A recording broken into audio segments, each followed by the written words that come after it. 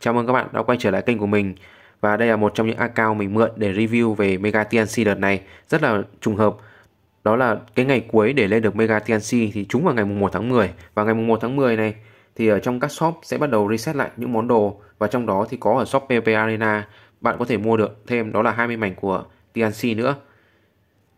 Và đây à, người trên này cũng đã lên được đó là con TNC 11 sao rồi và đủ một số đồ. Hiện tại thì cái tính cách của nó đang là cộng công đặc biệt và trừ đi tù đặc biệt. Tuy nhiên là mình vừa có được thêm một con nữa thì mình sẽ thử ghép xem là cái tính cách của con này sẽ là như thế nào. Hiện tại con này tính cách của nó là cộng pay defense và chữ SP defense thì bỏ qua thôi. Thì uh, bây giờ mình sẽ tiến hóa lên Mega TNC mọi thứ đã chuẩn bị đủ hết để cho mình ờ, làm clip rồi này. Ngày hôm nay chủ nhật rất là nhiều người đã tiền hóa lên Mega TNC rồi nhưng mà chúng ta sẽ cùng ngó qua cái Discord của game đã nhé. Trên Discord này à, còn 9 phút nữa còn 5 phút nữa. 3 2 1 và kết quả Mega TNC đã chính thức xuất hiện. Giống như là đón giao thừa vậy Mega TNC đã xuất hiện ở bản tiếng Anh và rất là nhiều người đã up lên Mega TNC và bây giờ mình cũng tương tự thôi up Mega TNC 60 triệu Việt à, vàng này. Và áp nó lên. Cũng giống như những S cộng đặt tiền máy S lúc trước. Mega TNC công chúa Kim Cương đã chính thức xuất hiện. Và ôi nhìn chỉ thiếu một số 9 nữa thôi thì có phải là 999 999 là vậy là quá đẹp không? Thì đây lên 999 990 này. Lên được thêm được tầm à, 88.000 lực chiến nữa. Và thêm đến tận 20 à, đến tận 2.000 tốc này. Ở đây công chúa Kim Cương đã chính thức xuất hiện ở bản tiếng uh, anh. Và bây giờ thì nó không còn cái skin kia nữa. Thì hôm trước mình đã giới thiệu về đá bùa chip với cả tính cách bảo vật dành cho Mega TNC rồi. Nếu bạn mà đã như là không nạp lấy bảo vật vàng thì trong đó cũng sẽ có một cái món bảo vật theo kiểu mà cái găng tay đấm bốc này tăng thêm song công rất là phù hợp dành cho Mega TNC ok bây giờ chúng ta bắt đầu test thôi. À, bắt đầu từ người chơi này luôn. Đội hình tim lửa và trận đấu đầu tiên của Mega TNC đi với team lửa xong rồi mình sẽ bắt đầu đánh với cả những team khác. Mình có lẽ là sẽ tua theo kiểu nhân ba như thế này để những trận đấu nó nhanh hơn thì mình muốn review nhiều trận đấu hơn chứ còn nếu nhân hai như vừa rồi nó chậm quá. Thì mà chậm như vậy rồi thì lại không đủ để có thể là review được nhiều trận. Mà nếu mà cứ để review nhiều trận thì lại quá là tốn nhiều thời gian luôn. Bây giờ với cái sự uh, hỗ trợ đến từ cái uh, tường của Mega TNC mà kiểu dạng như chắc chắn hơn rất là nhiều. Bạn không có một con sát thương cao thì phá được cái tường này cũng rất là khó kèm theo nữa là bạn sẽ còn bị phản đam đến từ cái tường này nữa này. Cuối cùng là tường cũng đã bị phá. Thì bên kia cũng bị phản lại một lượng sát thương dựa theo 8% cái uh, sát ở cái máu của tường này. 11 triệu và cuối cùng cũng đã tử trận luôn bởi vì ăn phản đam mà chết. Và với team của Mega TNC bạn chỉ cần có cái sự châu bò thôi. Còn lại thì ờ, động đất của Raymond Gordon hay là những cái phản đam của Mega TNC nó gánh thôi. Và Mega TNC thì sát thương gây ra cũng không hề nhỏ đâu.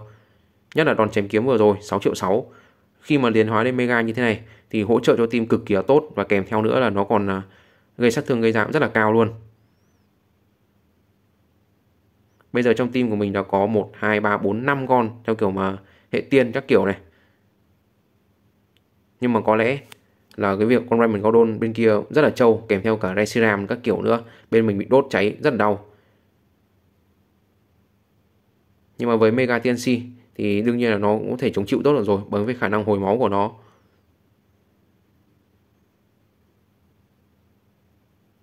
Và cuối cùng đã tử trận. Mega TNC ulti 6 triệu tư vào con Raven Gordon và chết.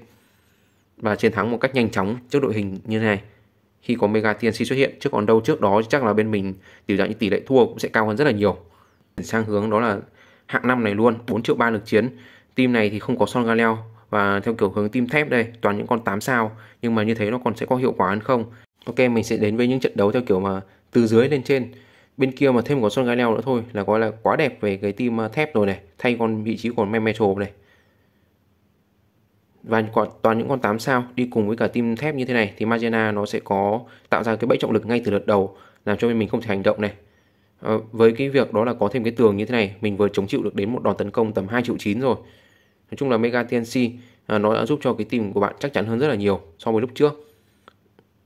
Những hiệu ứng phản đam các kiểu xong rồi bây giờ Zigade mình đang để đó là 4 sao thì nó cũng có thể uh, sử dụng tốt ở thời điểm hiện tại bây giờ với cả Mega TNC này. Một đòn tấn công 12 triệu và cũng đã mất đi cái tường nhưng mà bạn cũng đã chống được một đòn tấn công mạnh đến từ Mega à, từ con sách vậy. Và cái tim thép đặc biệt đến từ những con à, um, sách nó bắn ké rất là ghê. Mà một đòn vừa rồi 6 triệu với 7 triệu của Mega TNC này. Nói chung là cứ lên Mega rồi thì con Mega TNC này lúc này các bạn có thể sử dụng trở thành một con tấn công đam chính ở trong cái team tiến đất đá vẫn rất là ổn luôn. Bởi vì cái sát thương theo kiểu mà bắn kiếm của nó rất là ghê.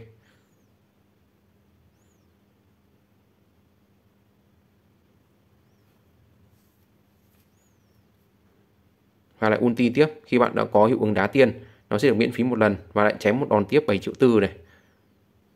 Thì bây giờ mình có thể hiểu đó là những cái team kia kia uh, hồi trước thì có thể thắng được cái team bên này trước khi có Mega TNC nhưng mà sau khi có Mega TNC rồi thì như là team nó cũng sẽ vững chắc hơn rất là nhiều so với lúc trước.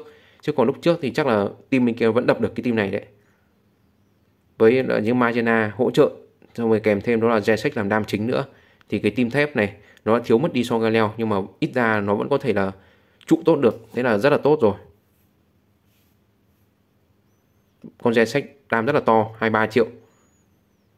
Rất là tốt khi đi cùng với cả team thép. Mặc dù bắn vào con Raymond Golden thì không đến nỗi quá quá đau thôi. Và Mega Tiên Sĩ tiếp tục ulti. Lại thêm một đòn chém kiếm nữa 6 triệu tư này nhưng mà bên kia vẫn đang phòng ngự rất là chắc chắn. Bạn nói chung là vẫn phải có thêm những con tấn công đam nữa cơ. Thì nó có lẽ sẽ ổn hơn. Còn nếu không thì bạn phải nuôi những con dạng như trụ chắc chắn hơn. Zigare này coi như là sử dụng tạm thôi. À, để lấy cái hiệu ứng tiên đá các kiểu này. Với thời kỳ này thì kiểu chưa có bão cát của Shiny Mega Tiraita thì các bạn hoàn toàn có thể kẹp cùng với cả tim nước cũng vẫn rất là ổn. Lúc này thì mình kiểu như là đang để theo kiểu thường tim tiết đất đá thuần thôi, nhưng mà nó chưa có hiệu ứng bão cát, thế nên là cũng ờ, chưa có thể kích hoạt được quá nhiều. Thế nên đợt sau mình có thể là thay đổi, sử dụng thêm Ramen Kyo ở trong team cũng vẫn có thể được.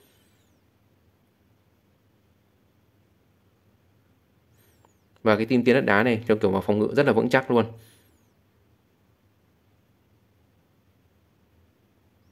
Bởi vì Mega TNC bây giờ nó nộ cũng nhanh và hoàn toàn có thể là tạo được cái tường tiếp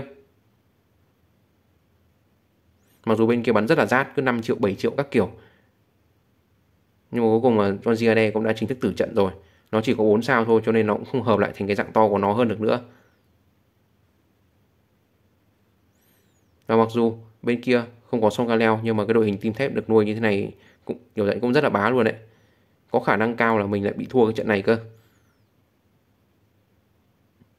Đòn vừa rồi bắn 5 triệu 9 rất là ác này. Nói chung là với tim thép như này thì sách một con đam có lẽ quá là tốt. Vậy lúc có tim nước ấy, thì ờ, có lẽ như là nó đánh bay được cái tim này có lẽ nhanh hơn. Chứ còn đâu ờ, với thời kỳ này theo kiểu phản đam như này thì bạn vẫn phải cần nuôi. Đây mega TNC được được hai triệu rưỡi đây. Chưa thể chém thêm phát kiếm nữa. Bên kia thì được búp một CDB sơn các kiểu. Cho nên nó vẫn phòng ngự rất là vững chắc luôn tưởng là có thể thắng được nhưng mà cuối cùng là bên kia vẫn còn đủ 6 con luôn này.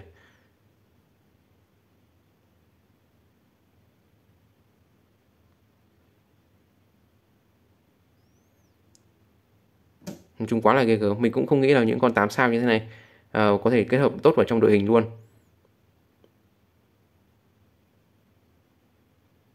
Vẫn có thể cầm cự đến tận 9 lượt luôn này. Rất là dai mình có thể ấn skip bị thua. Chắc là mình cũng không thể thắng được và bây giờ mình sẽ chuyển hướng đó là về team nước kết hợp với cả team tiền như thế này để đấu tiếp với cái team này trước khi đấu với cả một người chơi team ma để xem như thế nào. Đương nhiên là bây giờ mình phải tua cố gắng tua nhân 3 nhanh cho nhanh rồi. Thêm Ramen Kyo nữa thì uh, bây giờ sẽ có thêm một con sát thương đánh lan phía bên địch và kèm theo là có thể giải hướng khống chế các kiểu cũng sẽ tốt hơn. Thì không có Asgen ra 11 sao thì thôi mình sẽ sử dụng đó là mana phi như vậy là nó cũng sẽ có cái sự hiệu quả ở cái khoản đó là hỗ trợ và mất đi kiểu dạng như là Zigade này xong rồi Magena này thì uh, cái team của mình kiểu dạng như là cái tường của nó nó cũng sẽ bị mỏng hơn so với cả lúc trước. Bởi vì uh, tường của Mega TNC cứ có thêm uh, một hệ tiên hoặc hệ đá hay hệ đất ở trong team thì nó sẽ được tăng thêm 50% cái độ bền của tường nữa giúp cho cái tường của nó cũng sẽ bền hơn rất là nhiều. Mega TNC đã ulti trước rồi này 3 triệu này. Và thêm một đòn chém kiếm 6 triệu tư nữa này. Nói chung Mega TNC khả năng hồi nộ nó rất là nhanh. Cứ khi tường bị phá chẳng hạn thì nó cũng đã có thể là hồi được 150 nộ rồi. Và đến lượt Jessex đã ulti 8 triệu 3 và đã bay cái tường này đi. Tuy nhiên là cái tường này lúc mà nổ à, phá ra thì nó cũng sẽ phản lại đam lên địch này. Đây kiểu như hiệu ứng khống chế trong kiểu mà choáng là bên mình bị uh, không hành động được. Thì bây giờ dưới hiệu ứng của Raymond Kyo thì uh, bạn cũng có thể là hoàn toàn chống được những cái hiệu ứng đó nói chung là lúc đầu tiên thì có thể kết hợp nước với cả tiền thì nó cũng sẽ có sự ổn định hơn. Mega TNC thì rất năng động, ulti rất là nhanh. Và xong Celebi đã chính thức tử trận rồi. Và một con bên kia đó là con nào ấy, ở dưới hàng sau. Nó đã bị tống ra khỏi cái sàn đấu rồi. Cho nên bạn nào mà đang chơi team nước thì thôi, kẹp thêm tiền nữa thì nó cũng sẽ giúp cho bạn xịn hơn. Còn lúc này thì đội hình này so với cả đội hình lúc trước thì ờ, có vẻ là sẽ ổn hơn bởi vì thêm Raymond Kyo nữa thì không, hiệu ứng khống chế thì không bị sợ. Và ngoài ra Raymond Kyo cũng có khả năng đánh ké, đánh chặn địch cũng sẽ rất là tốt bởi con cá hoặc là đòn ulti của nó nữa.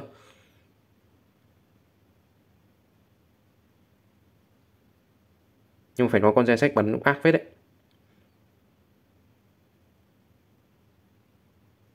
Xong, và cuối cùng con Memetro cũng đã chính thức tử trận rồi. Và bây giờ một đòn vừa rồi là 10 triệu của con Raymond Kyo cũng đã làm cho địch kiểu dạng như là chết đi thêm một con nữa rồi, Jiachi.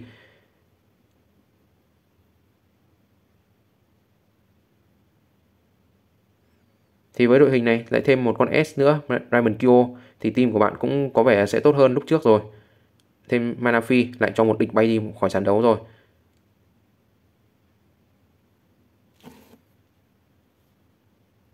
Và trận đấu này, mình skip phát thì nó sẽ win. Thì mình sẽ bây giờ chuyển sang đánh một cái người chơi team ma, Mega TNC lại chính thức lên um, MVP bây giờ một người chơi team ma đây không có Masadao ở VIP 15 Luala lên tận 10 sao Hupa này. Chúng ta sẽ cùng đấu với team này. Với thời điểm mới ra mắt Mega TNC này thì các bạn hoàn toàn có thể kẹp theo kiểu mà team nước đi cùng. Còn uh, sau khi Shiny Mega Tiraita ra mắt thì lúc đó chúng ta sẽ chuyển hướng theo kiểu mà tiên đất đá thuần sau. Bởi vì lúc này cũng chưa có cái hiệu ứng đến từ cái uh, cát hay gì cả. Bạn hoàn toàn có thể kết hợp được. Lúc này bạn chỉ cần đó là một con hệ đá đất hoặc tiên hai con trở lên uh, thì ờ, để kích hoạt cái đá tiền của Mega TNC thì nó sẽ là ổn rồi. Đợt này thì ờ, đấu với cả một người chơi không có Masadao thì cũng sẽ đỡ bớt nguy hiểm hơn. Ở cái team ma nói chung team ma thì Luala là một con cần thiết rồi này và kèm theo nữa đó là Masadao một con có thể khả năng gây đột biến rất là cao. Chứ còn đâu chưa có Masadao thì kiểu dạng như cái cái tỷ lệ để dạng như để giành chiến thắng nó cũng sẽ khó hơn.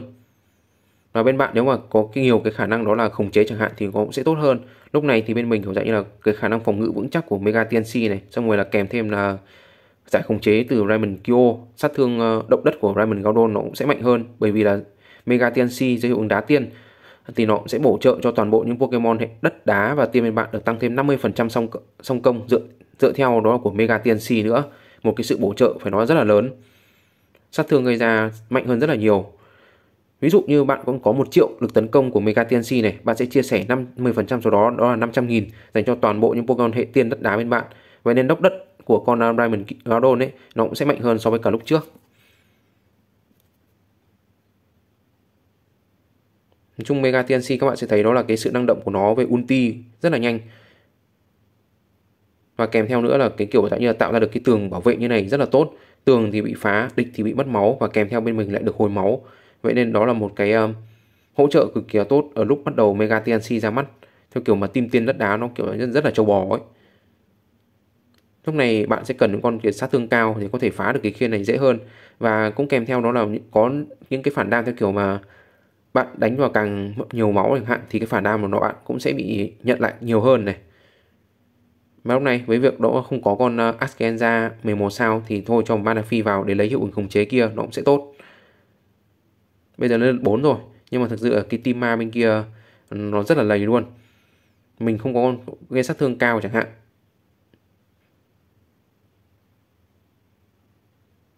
Hupa để ulti đây 959.000 Tuy nhiên là cái khả năng của nó Nó không nhốt được con Raven Gaudon à, Kyo vào trong cái vòng của nó rồi.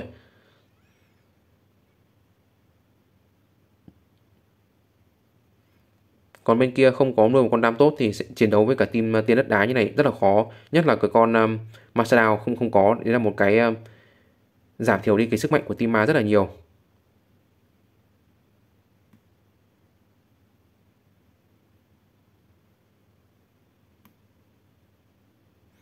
Chơi với team ma thì có dạng như bạn rất là khó nộ luôn bởi nó tăng thêm cái cột nộ gốc của bạn lên. Thì bạn sẽ phải cần nhiều nộ hơn để có thể là được đầy một cái trận đấu dạng như là hơi khó khăn đấy. Dần dần các trận đấu về sau với team của Mega TNC các bạn sẽ ngắm, theo kiểu dạng như là rất là nhiều thời gian hơn so với lúc trước. Với team ma, team nước, rửa trôi rất là nhanh, hay là đánh những đòn tấn công rất nhanh. Thì bây giờ đến team tiền đất đá như này, theo kiểu mà toàn những con trâu bò ấy, xem những trận đấu bây giờ phải toàn rất là lâu mới kết thúc này. Và bên mình thì đã vừa chết đi, đó là con Celebi rồi nhưng mà trước khi chết thì nó vẫn tạo được cái lá kháng tử dành cho bốn con bên mình. À ba con, trừ Raymond Kyo này. 19 triệu này. Ít ra thêm một con tấn công như Raymond Kyo ở trong team tiên đất đá này cũng vẫn rất là ổn đấy, bởi vì là bạn đang dựa quá nhiều vào cái à, sát thương đến từ Mega TNC chứ chưa đánh vào được phía bên địch nhiều. Thì có thêm một con tấn công nữa, bạn cũng sẽ cảm thấy ổn hơn. Đấy là lúc mà chưa có Shiny Mega Tiraita xuất hiện này. Manafi đi kèm bổ trợ cũng được. Còn nếu bên địch tàng hình thì bạn vẫn hoàn toàn có thể ulti được của con à, Mega TNC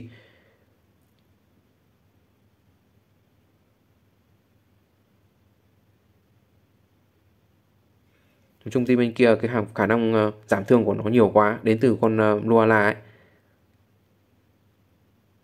Và một đòn chém kiếm vừa rồi 6 triệu 9 nói chung là toàn những kiểu sát thương thực ấy chém toàn 6 triệu đến 9 7 triệu thôi rồi rồi là Hupa 2 triệu 3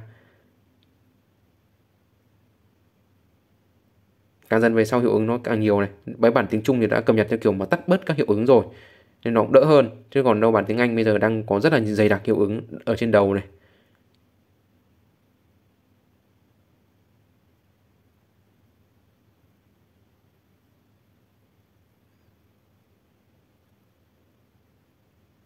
Nói chung vẫn có sự linh động của cá 11 triệu cũng rất là ổn. Để bạn có thể tiêu diệt bớt đi đó là con Sonia rồi. Cá với cần tiên tiên tiên nước này. Sử dụng tạm lúc này cũng vẫn rất là ok. Nói chung là đi cùng một đôi uh, Raymond Kyo và Askenza hoặc Manafi và chuyển sang hướng team uh, xong. Raymond Gordon đã chính thức tử trận.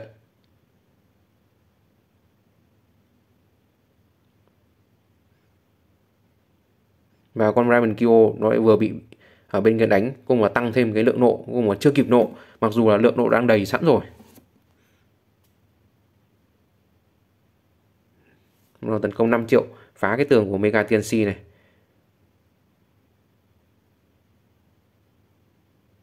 Nuala đã ulti rồi 3 triệu 3 và cái đòn giật ánh trăng đã chết mất đi con mana phi rồi. Và mega TNC của mình thì mất đi một cái à, lạc kháng tử này.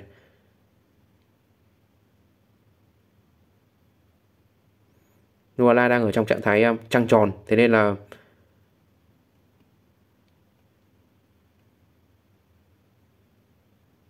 những đòn tấn công của nó đã bị uh, nhiên tạo ra ánh trăng đánh phản lên bên, bên địch này.